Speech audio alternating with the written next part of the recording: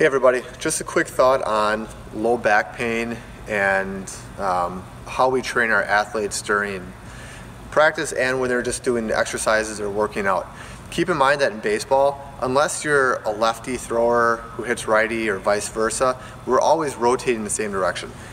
We throw left, we hit left, our body's always absorbing the same forces. So make sure that when you're doing things like working out in the gym or if you're just doing normal exercises on your own, work on rotation the other direction to help avoid any asymmetries that might potentially lead to some kind of back pain or other issues down the road.